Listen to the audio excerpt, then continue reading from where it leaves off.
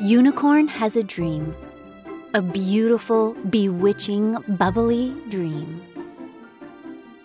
Unicorn longs to be a mermaid. Sometimes, not all the time. With the help of her trusty craft kit, Kitty is determined to make her best friend Unicorn's dream come true. But one elaborate DIY mermaid tail later, plus a beach trip that doesn't go as planned. And Unicorn doesn't feel very beautiful or bewitching. When Unicorn starts to feel insecure, can Kitty help make him feel enchanting again?